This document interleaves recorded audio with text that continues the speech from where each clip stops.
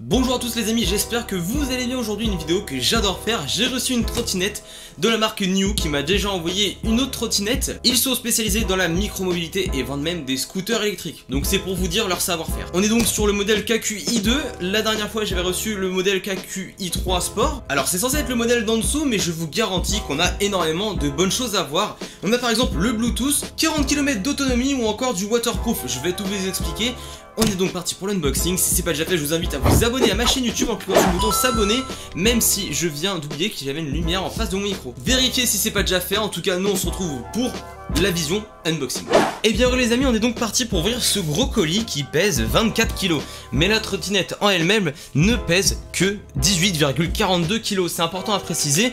Je trouve que c'est un point à prendre en compte. 18,40 kg, ça va. C'est pas si lourd que ça pour une trottinette. Je dirais que c'est au-dessus de la moyenne de ce que j'ai déjà reçu. Mais en même temps, vous allez voir tout ce qu'on a avec cette trottinette. J'ai remarqué qu'ils vendaient très bien leurs produits. Et donc, on va voir si c'est à la hauteur de ce qu'ils vendent sur leur site internet. Ils nous vendent par exemple que c'est waterproof. Ils nous vendent aussi un frein par récupération, c'est-à-dire que quand vous allez freiner, cette énergie de friction va être réutilisée pour créer de l'énergie dans la trottinette. En gros de gros, c'est ça. Donc ça va récupérer de l'énergie et ça c'est très bien à prendre en compte, c'est incroyable. Déclaration de conformité. Alors déjà ça met en confiance. Et là les gars, je vois une trottinette avec un très joli design. À chaque fois c'est la guerre pour sortir les trottinettes des paquets.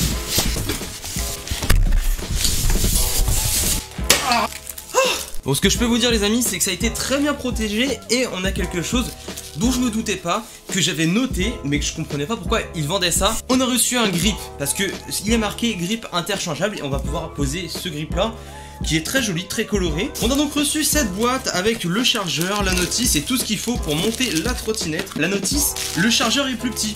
Alors ça je le remarque vachement. Ça va être pas mal pratique si on veut transporter le chargeur. C'est vrai que bah, ça va faire moins gros. La dernière trottinette que j'ai reçue C'est à dire le modèle au-dessus de celui-ci Qui était sport évidemment Donc un peu plus puissant On avait un chargeur beaucoup plus gros Presque encombrant. Alors que là on est sur quelque chose de beaucoup plus petit Et on peut voir qu'ils ont vraiment bien tout protégé. Voilà on a beaucoup beaucoup de suremballage Et c'est très bien pour éviter que ça soit rayé. La charge maximale est de 100 kg sur la trottinette c'est important à préciser parce qu'après elle peut s'user plus vite ou moins bien fonctionner. On a seulement 4 vis à mettre. Donc écoutez, soit ils nous ont donné 3 vis en plus, soit j'en ai oublié 3. Je préfère que ce soit la première option, qu'ils en aient envoyé 3 en plus. Et eh bien écoutez, on a juste à enlever ça. J'aimerais voir. Ok. D'accord, alors très propre. Bon, ça ressemble énormément au premier modèle que j'ai reçu, le modèle juste au-dessus. Et bien alors, la trottinette n'était pas chargée, mais là on va l'allumer. Ok, donc l'écran c'est quasiment le, ouais, c'est le même, c'est le même que sur la version d'au-dessus. Donc je connais déjà l'écran et c'est très bien. Là, le logo Bluetooth va clignoter jusqu'à temps que je la connecte et ensuite je pourrai la contrôler sur l'application. Je préférerais vous montrer ça durant le test. Là, je vais juste regarder un petit peu. Les poignées, elles sont assez similaires à ce qu'on a déjà pu voir.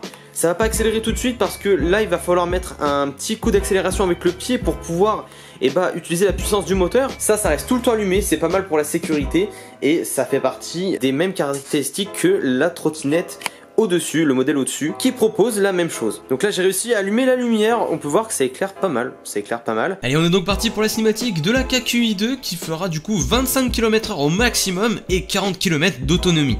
Avec un temps de charge de 7 heures, un guidon de 52 cm de large pour une meilleure stabilité, cette trottinette possède un double frein, un à l'avant et un à l'arrière, avec un freinage par récupération, c'est-à-dire qu'avec la friction que vous allez générer durant le freinage, vous allez pouvoir régénérer un petit peu d'énergie. On aura des pneus de 10 pouces, une connectique Bluetooth pour verrouiller voir l'autonomie restante ou encore les statistiques de conduite. On aura un phare halo à l'avant et le moteur se situe à l'arrière. Cette trottinette est waterproof IP54 et pèse 18,4 kg. Maintenant on va passer au test les amis. Et eh bien les amis on est sur du coup la KQi2 de chez New et on peut voir du coup qu'elle est Bluetooth. Donc je vais vous montrer un petit peu ce qui se passe sur l'application, vous pouvez voir. Donc voilà, alors sur l'interface, on a par exemple le nombre de kilomètres qui nous reste à faire, euh, le, pourcentage de la batterie, alors ça c'est très précis, et on a d'autres choses comme par exemple là, le fait qu'on puisse la bloquer. Ok, donc là par exemple elle est bloquée, et quand je vais essayer euh, bah, de euh, bouger, ça va faire du bruit et ça freine automatiquement.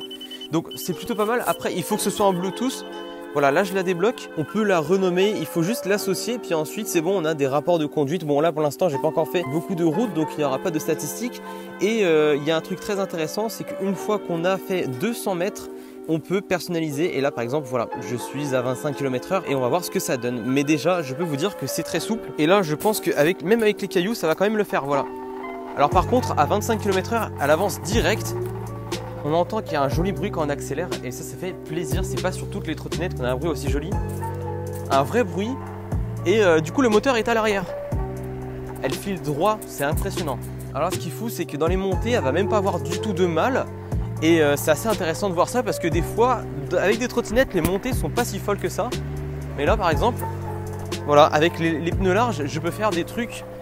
Avec euh, certaines trottinettes, je me permettrais pas. Voilà. Là, on accélère. Hop, 18, 25. Je suis à 25. Je suis sûr qu'en débridant, on pourrait aller encore plus vite. C'est une certitude. Avec son moteur à l'arrière en plus, ça monte très facilement les montées. Donc le guidon est plus large.